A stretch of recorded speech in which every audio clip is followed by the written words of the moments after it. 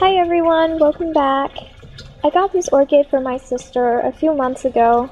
It's a very large white phalaenopsis orchid. She said that it wasn't in very good condition, so I asked her if she could bring it back to me. I could nurse it back to health or try to. I'm gonna repot it, actually clean it up a lot, and um, hopefully it'll um, recover. It's gonna go into my orchid hospital. So let's just go over some of the things that I can see. Now it still has the tag on it. So this one looks like sunburn and it's quite extensive. There's also some evidence of infection down here too. I'm going to be cutting this one off and I'm actually going to cut off the entire leaf here. It's very extensive. I don't want to keep anything. And this leaf is twisted and it also has burnt, uh, like a bit of a burnt leaf right here. And it also has mealybug infestation.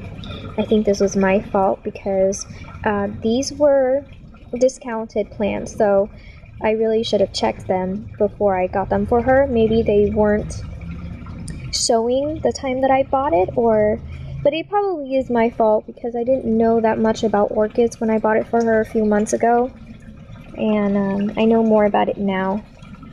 So you can see evidence of infestation here. Yeah, it's pretty bad. And let me find you a bug.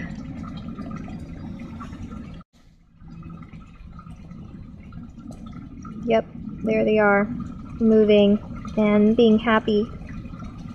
Yeah, a few months ago when I started getting into orchids, I didn't even know what they were, and I thought, oh, they're so fluffy and cute. And I'll just keep them. yeah, big mistake.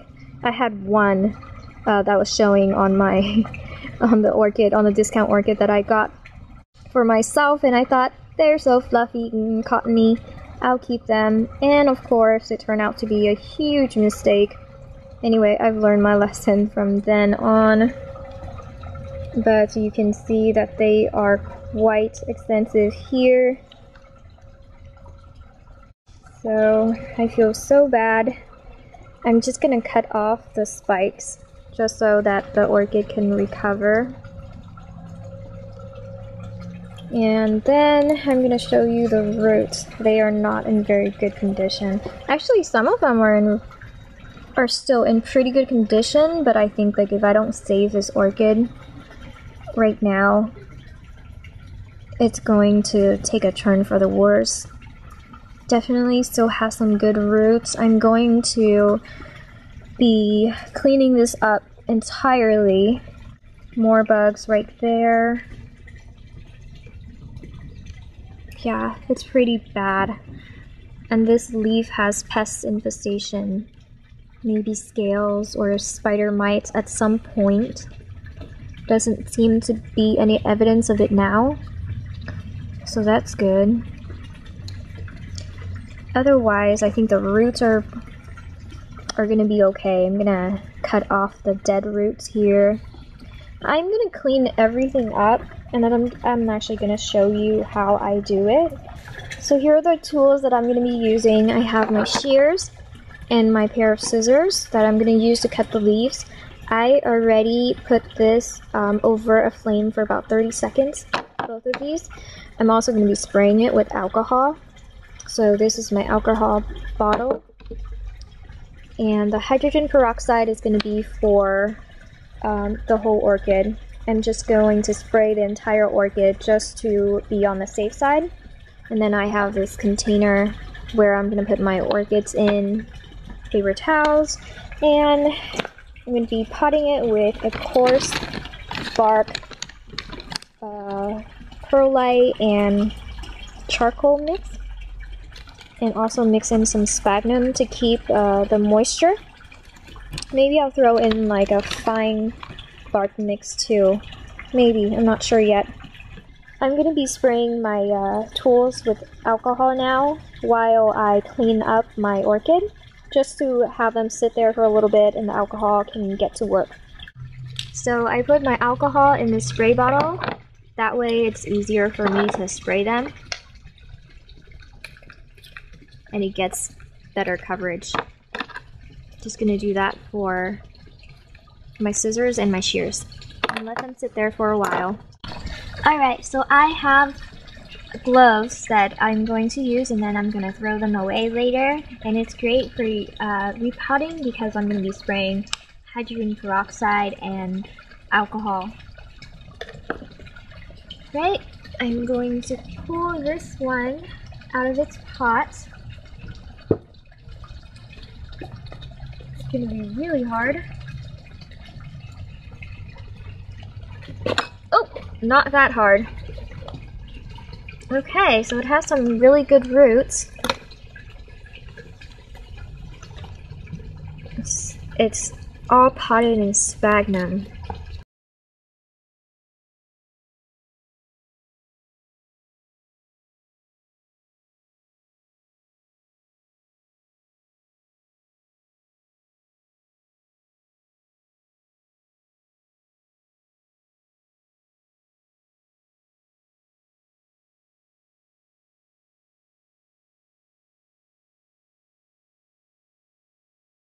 So this leaf, I talked about, it's sunburnt. I'm just going to remove the entire leaf. There you go.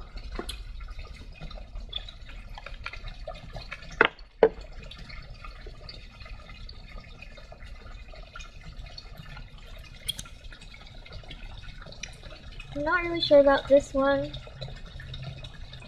It looks very yellow but maybe I'll keep it for now. And we'll see what happens, although this one I'm gonna cut off.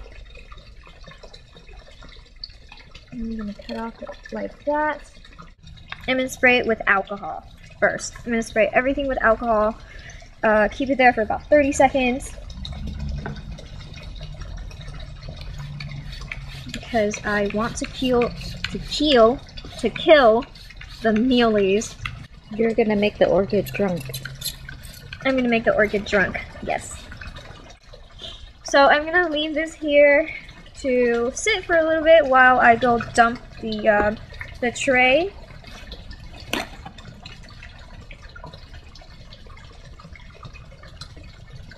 And this orchid is going to sit here and get drunk. So there. You don't want to leave it for too long because your orchid's going to get drunk.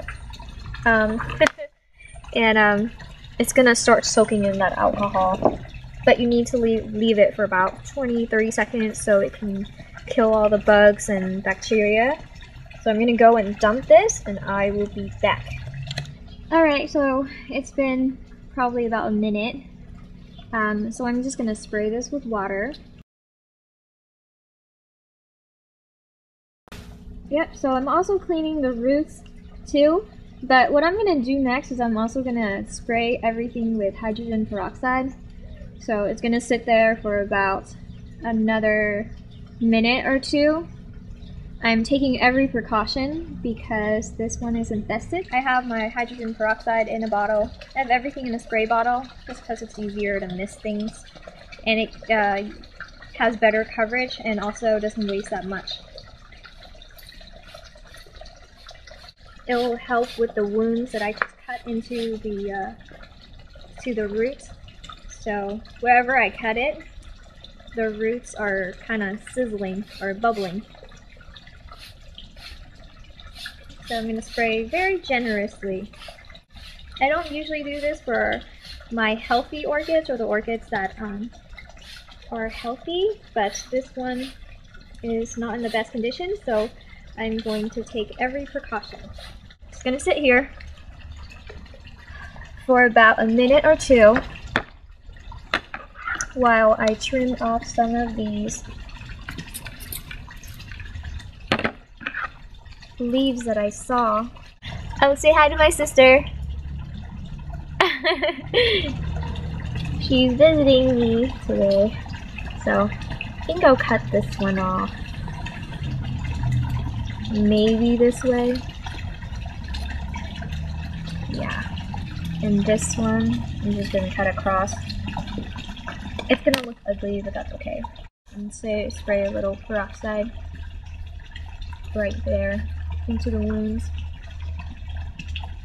It never hurts. None of my plants have died yet from the peroxide. so it's gonna sit there for another two minutes while I, my sister and I take a uh, soda break, and then we'll be back in a little bit. All right, it's been about two, three minutes, so I'm just gonna spray this with water. Alright, I'm just gonna try to fit her in here.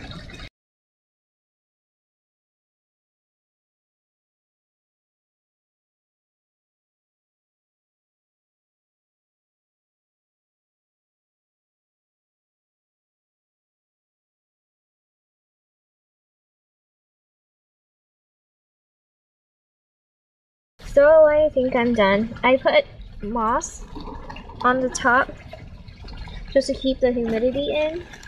And um, there are some exposed roots which I don't want to dry out too much. I'm gonna put this in front of a fan to dry it out so I don't get crown rot. I'm gonna also use a paper towel to dab that so it's gonna be dry. And that's pretty much it.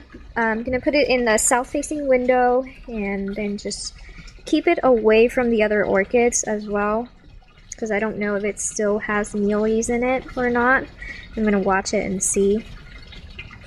And um, that's all. So thank you, you guys, for watching. I will see you next time. Bye.